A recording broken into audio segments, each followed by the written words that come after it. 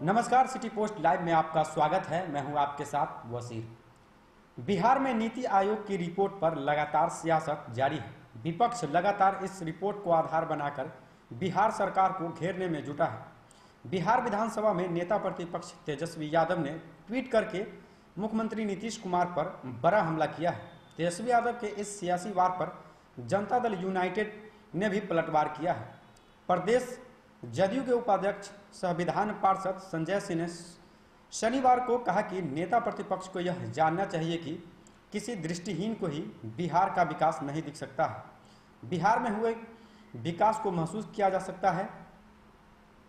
वहीं संजय सिंह ने भी तेजस्वी यादव को जवाब दिया है। संजय सिंह ने कहा है कि नेता प्रतिपक्ष तेजस्वी यादव को मालूम होना चाहिए कि नीतीश कुमार समस्याओं को दूर करने वाले लोगों में गिने जाते हैं। नीति आयोग और तमाम संस्थाएँ क्या कहती हैं उससे कोई फ़र्क नहीं पड़ता है। बिहार की जनता नीतीश कुमार के विकास पर विश्वास करती है, जो अहम बात है। संजय सिंह ने कहा कि विगत 16 वर्षों से लालू प्रसाद और तेजस्वी यादव लगातार हाथ पैर मार रहे हैं, लेकिन बिहार की जनता आखिर उन्हें क्यों नकार दे रही है? वजह साफ़ है कि लोग बिहार की कानून व्यवस्था व अस्मिता पर सोचते हैं। पैच। उन्हें पता है कि नीतीश कुमार ही कानून व्यवस्था को दुरुस्त रख सकते हैं।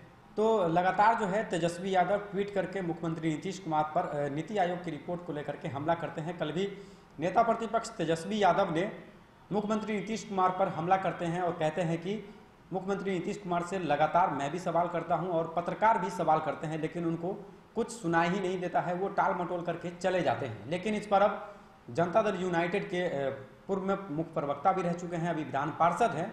उनका कहना है कि नीति आयोग की रिपोर्ट को हम नहीं मानते हैं। नीति आयोग की रिपोर्ट क्या कहती है उससे हमको कोई फ़र्क नहीं पड़ता है। लगातार जो है बिहार की जनता मुख्यमंत्री नीतीश कुमार पर भरोसा बनाए रखी है। इसका जीता जा, जागता उदाहरण है कि बिहार में चौमुखा विकास हो रहा है। तो लगातार जो है पक्ष विपक्ष में नीति आयोग की रिपोर्ट पर वार पलटवार हो रहा है। कल से विधानसभा का शीतकालीन सत्र भी शुरू हो रहा है जिसमें तेजस्वी यादव जो है पूरी तैयारी के साथ मुख्यमंत्री नीतीश कुमार को घेरने वाले हैं। लेकिन सरकार जो है, सदन में इसका जवाब देने के लिए तैयार है। बन रहे हमारे साथ आपको हम तमाम ऐसी खबरों से लगातार अपडेट रखेंगे। आपने हमारे चैनल को अभी तक सब्सक्राइब नहीं किया है तो जल्द से सब्सक्राइब कर ले। नमस्कार।